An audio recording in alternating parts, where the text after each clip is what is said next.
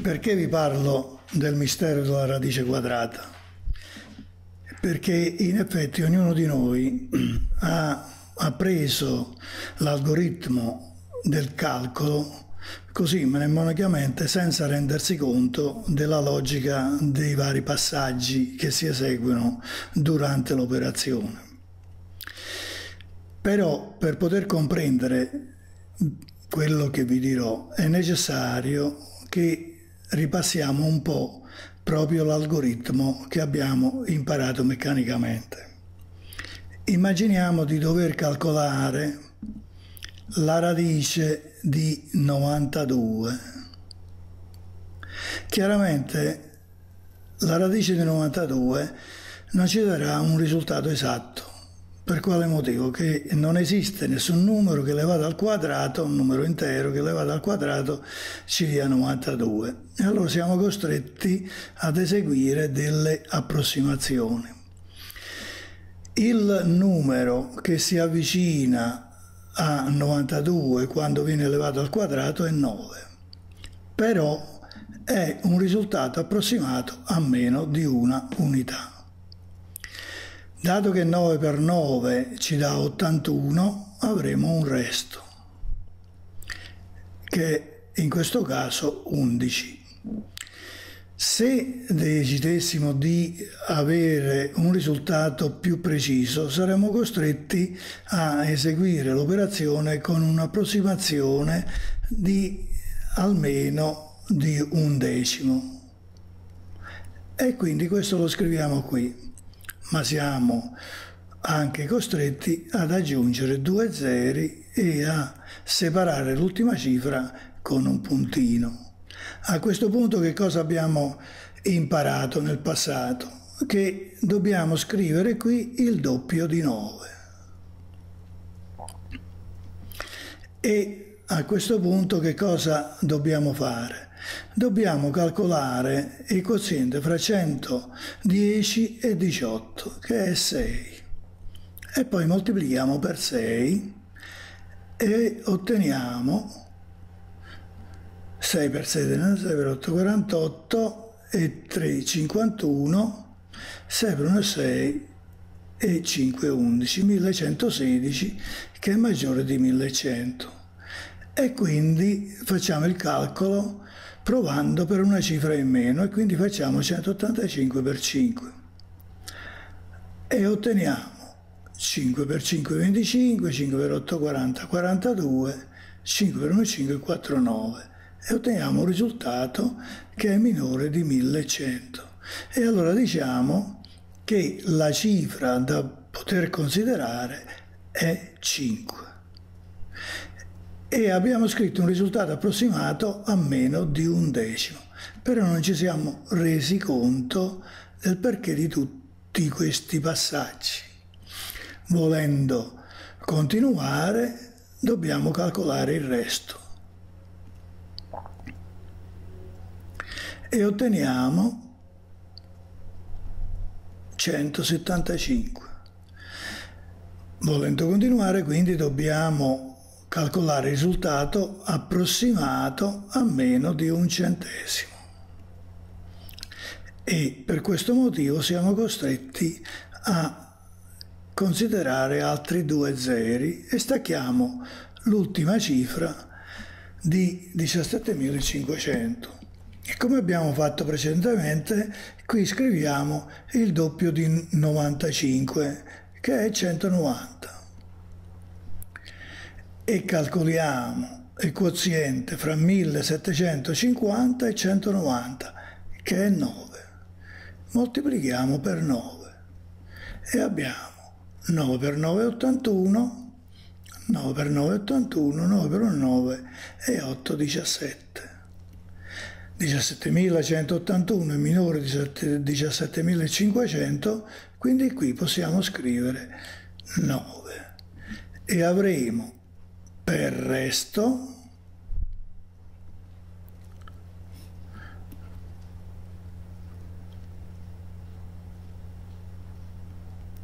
trecentodiciannove e così via. Il risultato che abbiamo scritto qui è 959 approssimato meno di un centesimo. Quindi questi 959 sono 959 centesimi del risultato esatto, che corrispondono a 9,59, che è la radice che cercavamo.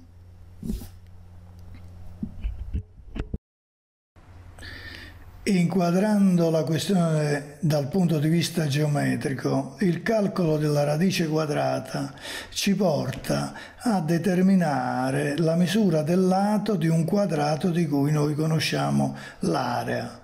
Per esempio, in questa situazione, se l'area di questo quadrato è 49 metri quadrati, con il calcolo della radice noi troveremo che il suo lato misura 7 metri.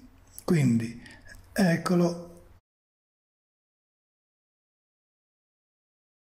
Continuiamo il nostro discorso inquadrando la questione sia dal punto di vista aritmetico che geometrico.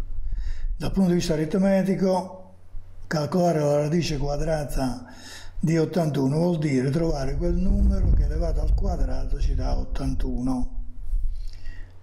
Dal punto di vista geometrico, come già vi ho detto, calcolare la radice di 81 vuol dire determinare la misura del lato del quadrato di area 81. Immaginiamo adesso di dover calcolare la radice quadrata di 92, che non è un quadrato perfetto, e allora essa si troverà compresa fra la radice di 81 e quella di 100, quindi fra 9 e 10. E allora la situazione geometrica è questa. Il quadrato viola è il quadrato di area 81 e quello più chiaro è di area 100 e il quadrato di area 92 si troverà nella zona intermedia più vicino al viola piuttosto che al quadrato più chiaro. E la cosa diventa molto più evidente se noi spostiamo la posizione del vertice del quadrato più grande. E come vediamo la misura del lato mano a mano diminuisce. E se guardiamo sopra vediamo che l'area mano a mano si avvicina a 92 quindi il quadrato di 92 è quello che noi vediamo rappresentato con un viola più chiaro. È evidente quindi da questo disegno che il lato di questo quadrato è un numero intermedio fra 9 e 10, quindi non può essere un numero intero e siamo costretti a fare un calcolo approssimato la differenza di area fra il quadrato di area 92 e quello 81 è rappresentata da questi due rettangoli. I due rettangoli viola chiaro che si trovano in alto e a destra più il quadrato viola scuro che si trova al vertice corrispondente L. Tutta quella zona rappresenta la differenza fra le aree dei due quadrati e il lato del quadratino non lo conosciamo, è x. Ora passiamo al calcolo che vi presento nella parte sinistra. Questo calcolo sarà effettuato, come già sapete, con l'approssimazione a meno di unità e ci darà 9 che corrispondono geometricamente alla misura del lato del quadrato che consideriamo in prima approssimazione uguale a 9 metri. Questa approssimazione è minore di un metro. Ora calcoliamo il resto. Otterremo 11. Che cosa è questo 11? 11 rappresenta l'area della zona che è la differenza fra l'area del quadrato di 92 e l'area del quadrato di 81 ed è proprio di 11 metri quadrati.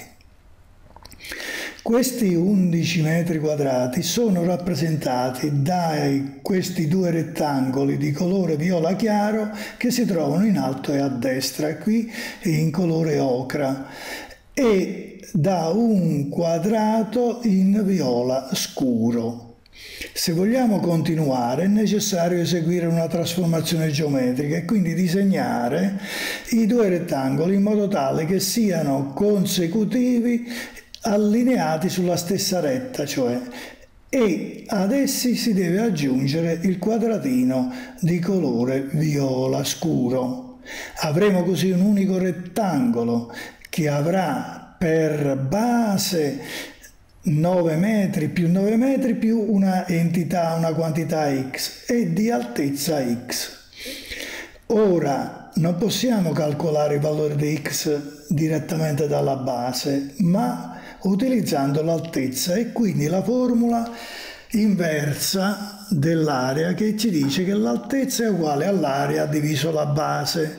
Quindi dovremmo fare 11 metri quadrati fratto 18 più x ma questa operazione non è eseguibile in quanto nel divisore manca la quantità corrispondente a x. Allora possiamo accontentarci di eseguire dei tentativi successivi partendo da una prima ipotesi che ci fa affermare che la base può essere soltanto lunga 18 metri. A questo punto però la cifra che noi cercheremo di determinare dovrà essere sicuramente minore del metro e quindi sarà esprimibile in decimetri.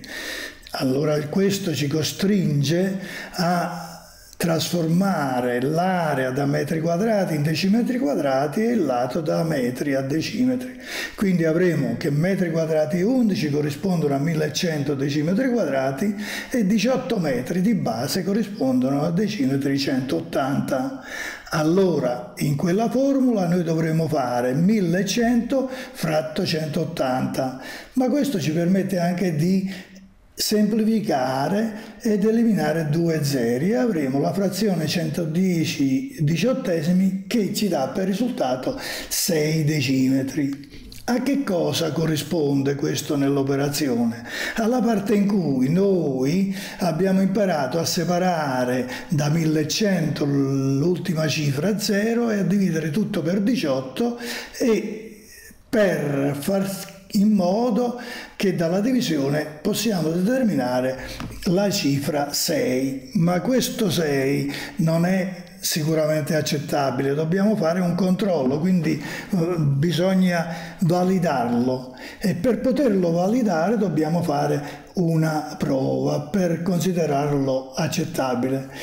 Per fare la prova che dobbiamo fare? Moltiplichiamo la base per l'altezza per vedere se l'area rientra in quei 1100 eh, decimetri quadrati. Se moltiplichiamo 186 la base per 6 l'altezza otteniamo 1116 che è maggiore di 1100 quindi 6 decimetri non è accettabile e allora che cosa facciamo? possiamo provare per 5 e allora rifaremo di nuovo la stessa prova, 185 per 5 ci dà 925 che è minore di 1100, allora 5 è accettabile. E questo corrisponde a tutto quello che vedete sulla sinistra dove abbiamo fatto la prima prova 186 per 6 uguale 1116 e poi la successiva 185 per 5 uguale 925 e questo ci ha permesso di validare la cifra 5 e di, ci ha permesso di scrivere 5 dopo il 9 Purtroppo il resto è diverso da zero. Infatti avremo come risultato 175 che rappresenta che cosa? La differenza fra l'area del quadrato di 92 e quella del nuovo ipotizzato quadrato di lato 95 decimetri. La zona è rappresentata da questi due rettangolini, uno superiore e l'altro a destra, più quel quadratino che vedete in alto a destra. Come vedete dal disegno la zona si è ridotta, ci siamo avvicinati molto di più al lato del quadrato di area 92. Ora, per continuare, dobbiamo ripetere lo stesso ragionamento. E che cosa dobbiamo fare? Una trasformazione geometrica in cui i due rettangoli vengano disegnati in modo da essere consecutivi e ad essi dobbiamo aggiungere il quadratino che abbiamo in, intravisto nell'angolo a destra in alto. La zona è diventata più piccola e il rettangolo avrà la base costituita da decimetri 95 più decimetri 95 più x e sarà di area 175 decimetri. Il valore della x è sicuramente minore di un decimetro e quindi sarà esprimibile in centimetri e ciò ci costringe a trasformare l'area in centimetri quadrati e quindi avremo 17.500 centimetri quadrati e la base del rettangolo, escludendo la x, sarà di 95 più 95 decimetri. A questo punto noi che cosa dobbiamo fare? dobbiamo eh, eseguire eh, il calcolo dell'altezza facendo 17.500 diviso 1.900 cm e avremo, se eliminiamo e eh, semplifichiamo l'ultimo zero, numeratore e denominatore, avremo una frazione il cui valore è 9 cm. Questo 9 lo dobbiamo validare attraverso la prova che abbiamo fatto precedentemente. Cioè dobbiamo controllare che la base moltiplicato per l'altezza, cioè 1909 per 9, ci dia un risultato minore di 17.500 ci dà proprio 17.181 cm quadrati che è un numero minore 17.500 cm quadrati, quindi 9 è accettabile. A questo punto l'approssimazione non è, non è stata più di un decimo, ma a meno di un centesimo e quindi geometricamente a meno di un centimetro. Come vedete tutto quello che abbiamo riportato nella parte destra si ripete nella parte sinistra nella maniera che già conoscete e lì vedete che stiamo eseguendo la prova e otteniamo 17.181 che è minore di 17.500 e quindi quella cifra 9 la possiamo accettare. Il resto però è 319 quindi non è zero.